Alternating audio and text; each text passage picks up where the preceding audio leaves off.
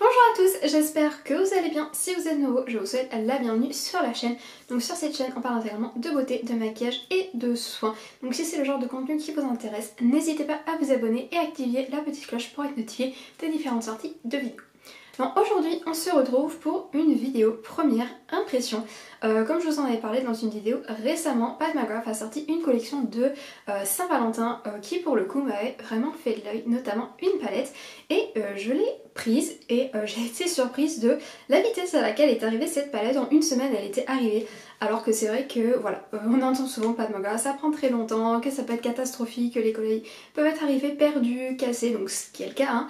Mais moi je veux dire que voilà, sur ce coup-là, j'ai eu de la chance, non seulement ça arrivait très vite, mais bien emballé et rien n'était cassé. Euh, donc j'avoue que je suis ravie. Donc je vous le mentionne quand même, voilà. Euh, sachez que les envois, euh, le service SAV de Patnagar, de ce que j'ai compris, ça va être un peu compliqué. Donc voilà, je le mentionne quand même, mais moi pour le coup, voilà, j'ai été surprise de la rapidité de la protection qui, ma foi, était très bien.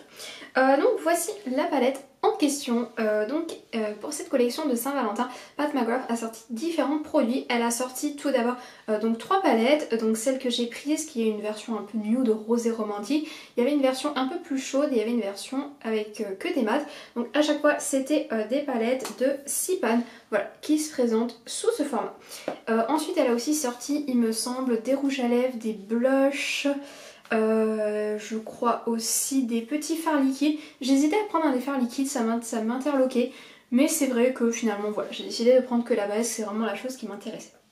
Donc du coup cette collection de la Saint-Valentin s'appelle The Love Collection. Donc moi j'ai pu vu passer euh, si vous avez jamais commandé je crois que vous pouvez utiliser le code Welcome 15 qui vous donne 15% et il y avait aussi un code avec la collection qui était Love 10 euh, vous pouvez voir 10% donc euh, cette palette je crois est une soixantaine d'euros. Je crois qu'elle était 63 euros alors il me semble alors je voudrais pas dire de bêtises que j'ai pas pu retourner vérifier mais que leur collection Bridgerton sous ce format était plus chère alors je sais pas si c'était à cause de justement la licence Bridgerton qui était plus chère. Mais voilà, en tout cas celles-ci à l'unité sont en, gros 60 euh, euros.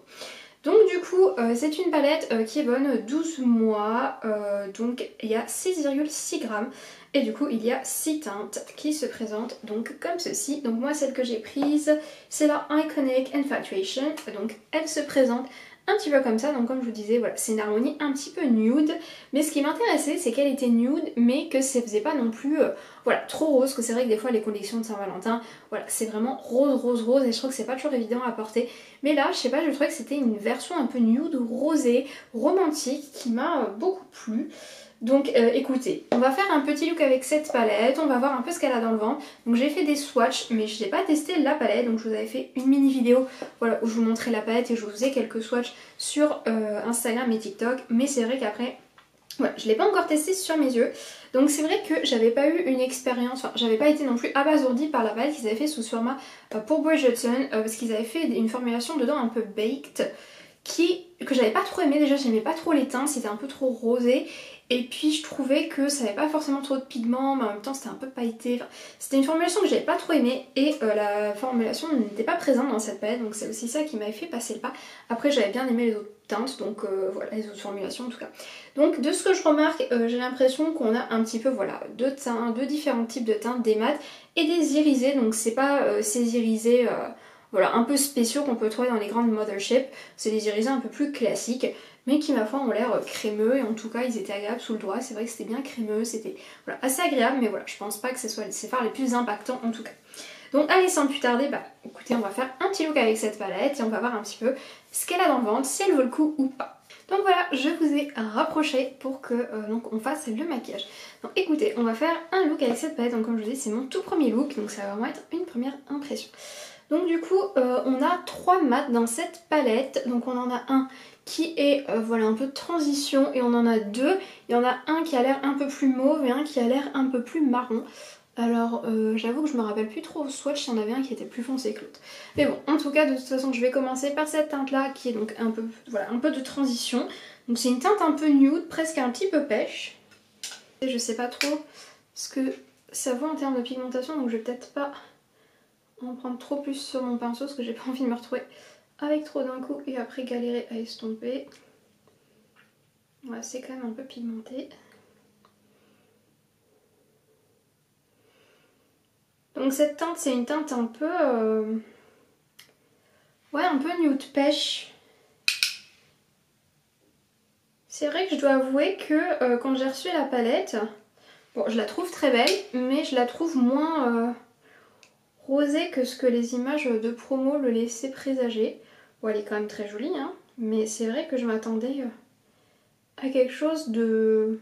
Ouais, de plus rosé mauve, alors qu'on est quand même dans quelque chose d'un peu nude, euh, nude pêche un peu, donc ce qui est quand même, euh, ce qui est quand même joli, hein, mais voilà, c'est vrai que je trouve que les, images de promo étaient un petit peu pas, trop dans ce sens-là.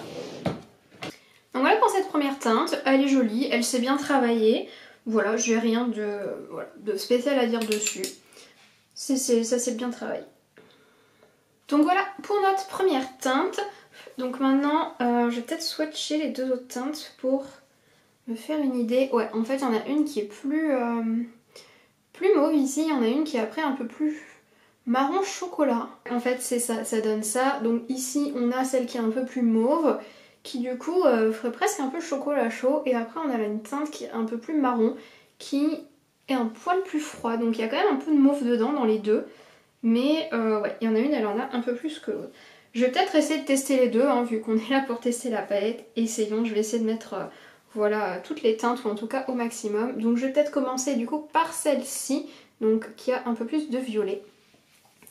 Donc c'est vrai que dans l'autre palette que j'avais vue sous ce format-là, euh, la, teinte mate qu'il y avait, qui était un peu foncé, un peu violet, euh, avait été un petit peu patchy. Donc j'attends de voir si avec ça, si ce sera le cas. J'avoue que les fards Pat McGrath, euh, j'ai pas une... Euh, je les connais pas des masses non plus, j'ai pas eu beaucoup de palettes de chez eux. Donc, euh, et je dois bien vous avouer que les quelques que j'ai eu pour le moment, ne m'ont pas forcément subjugué dans le sens où c'est des bonnes palettes, mais pas qui valent forcément leur prix, en tout cas leur prix neuf, ça c'est sûr. Alors j'ai reçu une Mothership il n'y a pas si longtemps que ça, je l'ai pas encore testée. Euh, voilà, j'ai entendu beaucoup de positifs sur cette palette donc j'ai hâte de la tester. J'ai acheté la, la dernière grande qu'ils avaient sortie, alors je sais même plus quand est-ce qu'elle est sortie. Mais euh, je l'ai eu pour 68 euros en grosse promo donc là pour le coup ça valait bien le coup.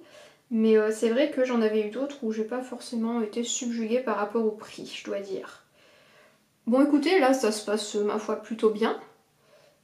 Là encore, je trouve vraiment que la teinte fait assez différente de ce à quoi je m'attendais sur, euh, les previews euh, sur internet là aussi, parce que c'est vrai qu'on est vraiment sur quelque chose euh, finalement d'un peu chaud quand même. Hein. Et c'est pas vraiment ce à quoi je m'attendais. Je m'attendais à quelque chose de plus neutre, de moins, ouais, de moins pêche. Bon, c'est des jolis tons, hein. franchement c'est joli. Mais c'est vrai que les, visuels, je trouve rentre pas comme ça. Mais, mais c'est très sympa, c'est très joli, j'aime bien. Donc voilà, et du coup on va passer donc, au dernier mat de la palette. Donc euh, celui-ci là-bas en bas, donc qui est censé être un peu plus neutre.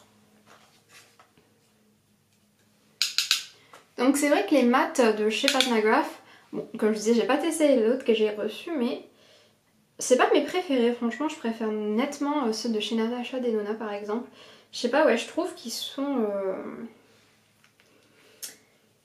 ouais, presque un, petit peu secs et ils sont un peu silky, mais ils sont un peu... Euh, ouais, je trouve qu'ils ont tendance à accrocher un peu, à être un peu patchy. Je sais pas ce que vous en pensez, mais j'avoue que je trouve un peu. Clairement, c'est pas mes préférés du marché. Bon, bien sûr, faudra que je teste la Mothership pour vous dire, c'est sur les grosses Mothership, c'est peut-être pas la même, la même texture. Mais bon, je pense franchement qu'on achète des palettes mat McGrath euh, plutôt pour les iriser que pour les mat. Hein. Ils sont pas très enfin, Il me semble pas qu'ils soient très réputés pour leurs mat. Et en tout cas, enfin, moi de l'expérience que j'en ai eue, euh, leurs mat ne sont pas euh, ne sont pas exceptionnels. Je préfère nettement les mat ouais, de Natasha. ceux de L'Honneur Beauty sont, sont vraiment supérieurs, je trouve aussi. Enfin bon, voilà, les, les mat se cassent pas trop pattes à un canard. Vous voyez, je trouve que ça accroche un peu là dans le coin et là dans le creux. Alors bon, je sais que mes yeux, ils ont un peu tendance à faire ça naturellement, mais voilà, pour dire quand même. Hmm. Les maths me, me subjuguent pas, donc j'espère que les irisés me subjugueront un peu plus. Donc pour le dessous, je vais rapidement reprendre de la teinte la plus claire. Et je vais juste la mettre là-bas en bas. Et je vais mettre euh, voilà, de la teinte la plus foncée, là que j'ai mis en dernier, juste un peu ici, dans le coin. Donc voilà pour la base. Pour le moment, voilà. Clairement, comme je vous disais, pas abasourdi. Je suis un petit peu, entre guillemets, euh, déçue euh, des teintes par rapport à ce que je pensais qu'elles allaient être. Et ouais, je trouve vraiment que ces teintes plus foncées là, ça fait un peu patchy, ça, ça s'estompe pas bien là dans le coin là. Ça veut pas, je pas si vous voyez, ça me fait une démarcation là. Ouais, bon, je suis pas pour le moment euh, hyper emballée. Je crois que je vais aller peut-être dans cette teinte ici là. Parce que l'autre elle m'a l'air assez orangée quand même, je suis pas sûre. Donc euh, à moins que je fasse peut-être un dégradé entre les trois. Est-ce qu'on ferait un dégradé entre les trois? Bon, je vais commencer déjà par celle-là. Je vais la mettre peut-être un peu vers le coin là-bas pour voir.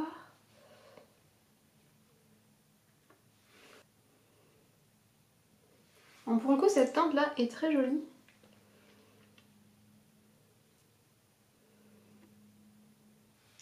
Elle est jolie, elle est crémeuse cette teinte.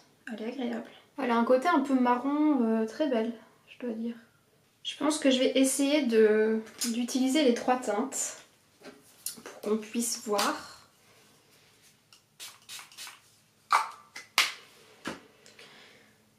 Donc je vais essayer euh, ensuite donc un peu plus devant cette teinte là, donc qui est un peu plus euh, un peu plus chaude celle-là pour le coup. Bon, elle est jolie, mais c'est vrai qu'elle m'a l'air d'avoir beaucoup d'orange dedans. Mais on va voir. Non, j'avoue, elle est très jolie cette teinte. Au swatch, j'étais pas hyper, euh, hyper emballée. Mais elle est belle parce qu'en effet, elle est un peu plus chaude, mais ça fait pas orange non plus.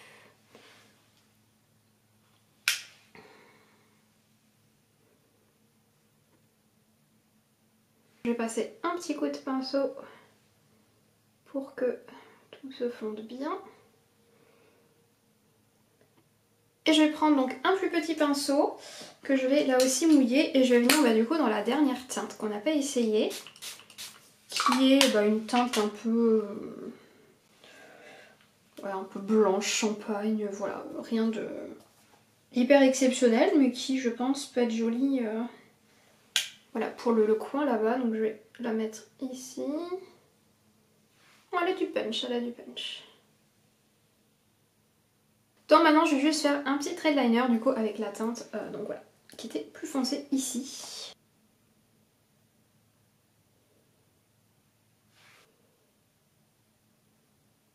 Voilà, j'ai fait le trait d'eyeliner des deux côtés. Franchement, cette teinte m'a fait un peu galérer pour faire mon trait d'eyeliner. Je sais pas, elle n'est pas assez pigmentée pour faire un joli trait de liner et j'ai trouvé que c'était un peu compliqué à, construire. Donc voilà pour mon euh, look final avec la palette de chez Pat McGrath. Donc je vais vous montrer le résultat d'un petit peu plus près et ensuite je vous donnerai mon avis final. Je vous dirai si je pense que c'est un bon achat ou si vous devriez passer votre chemin.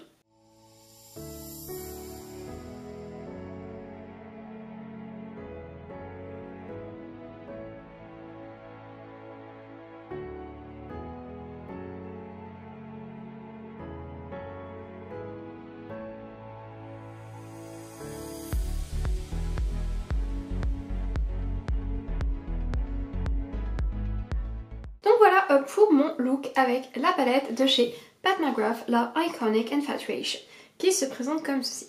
Donc déjà, euh, je dois dire que je trouve que pour le prix, je trouve ça dommage qu'on ait que du carton. C'est quand même une palette qui est voilà une soixantaine d'euros. Quand on met 60 euros dans une palette, voilà, on a quand même envie d'un packaging voilà, qui fait un petit peu luxueux, on a envie qu'il y ait un peu une expérience. Et voilà, je trouve que c'est un peu cher de faire payer à ses clients une soixantaine d'euros pour un packaging en carton. Ça c'est la première chose, sachant qu'elle vend des quads euh, dans le même packaging que les Mothership. qui sont donc moins chères. Donc après, bon, les pannes sont peut-être pas de la même taille, ça, ce serait peut-être à vérifier. Mais voilà, toujours est-il que je trouve quand même que pour le prix, on pourrait avoir quelque chose un peu plus luxueux que du carton. Cela étant dit, voilà, après la palette est jolie, le design est sympa, on a les teintes derrière, voilà, c'est joli. Mais c'est vrai que j'aurais quand même préféré qu'on ait un packaging un petit peu plus euh, luxueux. Euh, donc ensuite, on va parler un peu de la formulation. Donc la formulation, franchement, bah, je suis pas plus conquise que ça. Euh, c'est vrai que je trouve que les maths sont euh, rien d'exceptionnel. Comme je vous disais, j'ai d'autres maths dans ma collection que je préfère, ceux de Natasha notamment, euh, ceux de Lunar Beauty. Je trouve qu'ils sont supérieurs à ceux-là. Ceux-là, je trouve qu'ils sont un petit peu secs, ils se travaillent, mais voilà, ils accrochent un peu et j'ai vraiment trouvé sur les teintes, en tout cas les plus foncées, que voilà, ça accrochait pas mal dans le creux et dans les coins. Et euh, je trouve que même encore maintenant, voilà, ça me fait un peu une, un petit trait. Voilà, donc ça, les maths, je suis pas fan. Je trouve que les irisés, cela dit, sont beaucoup plus réussis, ils sont crémeux, ils ont un joli impact sur la paupière, voilà, ça reflète la lumière, c'est joli. Donc après, est-ce que ces lumineux là valent le prix de payer 60 euros pour la palette? Je sais pas, parce que enfin je pense que le look que j'ai aujourd'hui, j'aurais euh, très facilement pu en fait le faire avec ma palette de chez Donna Beauty et avoir des irisés tout aussi impactants euh, que cette palette là, en toute honnêteté. Donc voilà, donc est-ce qu'elle vaut le coup? Je suis un peu mitigée, euh, honnêtement. J'aurais envie de dire que non. Euh, bien que j'ai trouvé qu'elle était globalement agréable à utiliser, j'ai trouvé quand même que les mattes auraient pu être mieux que les irisés, bien qu'ils soient très beaux. Voilà, c'est rien de absolument révolutionnaire qu'on n'a pas déjà. Et euh, je veux dire que je suis voilà, un petit peu, comme je disais, déçue des couleurs. C'est vrai que j'ai vraiment trouvé que sur un peu les promos qu'avait mis en avant la marque, ça donnait un peu une impression euh, bah, de quelque chose de plus nude et de plus mauve que ce que ça l'est en réalité. En réalité, je trouve qu'en fait ça fait très pêche, voire un peu... Euh, ouais, un peu pêche orangée. Donc euh, on peut faire quelques comparaisons. Comme je vous disais, je pense vraiment que le look que j'ai fait, on aurait pu le faire avec la palette de chez Donna Beauty, la Nude Prism, qui se présente comme ceci. Voilà, vraiment je pense que entre les mat et les irisés, voilà, je pouvais facilement faire quelque chose qui ressemblait, euh, voilà, ressemblait à ça. Donc je peux peut-être essayer de vous swatcher quelques teintes, voir si on peut réussir à trouver des similarités, des... Euh, c'est pas français des similarités, des... Je trouve plus le mot. Des... Des choses qui se ressemblent, le mot me vient plus, c'est une catastrophe. Euh, mais c'est vrai que déjà, rien que quand je les regarde à côté, je trouve vraiment qu'elles se ressemblent. Alors attendez, je vais essayer de vous les montrer sans tout faire tomber. Voilà, je sais pas ce que vous en pensez, mais je trouve que clairement celle-là, c'est un peu la version euh, agrandie de cette petite palette. Donc voici les deux premières teintes que j'ai trouvées qui sont un peu similaires. Donc concrètement, elles sont pas exactement pareilles. Mais voilà, c'est vrai que globalement quand même, hein, euh, ça se ressemble énormément. Donc c'était euh, ça la teinte la plus claire que j'ai mise avec la teinte de la palette de chez Beauty. C'était donc celle-ci. Ensuite, les deux autres teintes Voyons voir. Donc celles-là, elles sont un peu moins similaires. Mais voilà, là encore une fois que vous swatchez, vous voyez, franchement, on est sur quelque chose, mais de, très très très proche. Ensuite, euh, donc pour cette teinte un peu plus marron, je pense que cette teinte ici, là, elle va être assez similaire. Donc là aussi, ce sera peut-être pas exactement, exactement pareil. Mais Du coup, celle de Pat McGrath est un peu plus... Euh, un peu plus de mauve. Mais là encore, vous voyez, une fois qu'on swatch, euh, ça se ressemble, hein. franchement, ça se ressemble beaucoup. Donc maintenant, on va essayer de voir si on trouve des irisés un peu similaires. Donc, euh, regardons ça.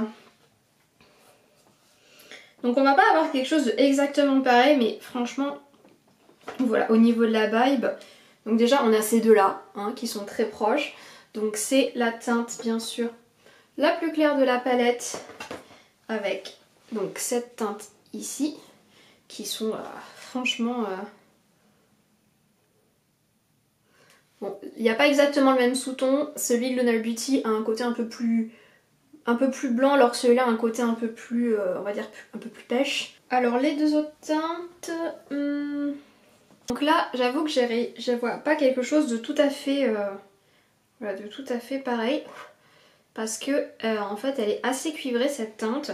mes remarques. Là encore, sur le là ça, ça ressemble pas tant que ça, mais vous voyez, une fois que là, euh, franchement, on voit pas la différence une fois que c'est sur les yeux ça. Et la dernière, alors la dernière par contre, je pense pas que je vais trouver quelque chose d'équivalent pour le coup dans cette palette là.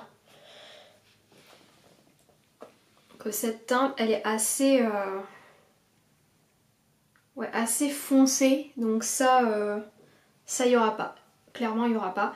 Mais c'est vrai que vous voyez, à part cette teinte, toutes les autres teintes de la palette, clairement, vous pouvez faire exactement ça avec la palette de chez Luna Beauty. Donc clairement, si vous avez déjà la palette de Luna Beauty, vous n'avez pas besoin de cette palette. Ce que vous voyez, euh, voilà, hein, clairement, euh, j'aurais pu faire un œil avec celle-là, un œil avec l'autre, et vous vous, vous en rendriez pas compte.